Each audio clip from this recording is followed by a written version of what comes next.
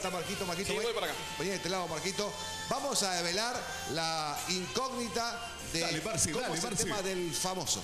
Del famoso, bueno, el famoso es el diario Litoral y alguien de la farándula tiene que ver con la revista más vendida del país, Paparazzi, la revista Paparazzi, eh, con la dirección de Luis Ventura, es la que va a salir el día 14 de octubre con la edición del diario Litoral. Usted va y compra por 8 pesos el domingo el diario Litoral y de regalo adentro va la revista Paparazzi. Así que la revista más vendida del país, la más cholula de la Argentina, llega a Corrientes de la mano del Litoral. Y bueno, y la otra sorpresita que el viernes va a haber una presentación oficial, el viernes 12 si no me equivoco, y va a estar Luis Ventura en Corrientes para poder contar un poquito de qué se trata todo esto y este, va a estar aquí para poder eh, decir qué va a pasar con Paparazzi en Corrientes. O sea, el diario Litoral con Paparazzi a partir del 14 de Ah, octubre. gracias. Adelante, Luz. Adelante, Marcelo.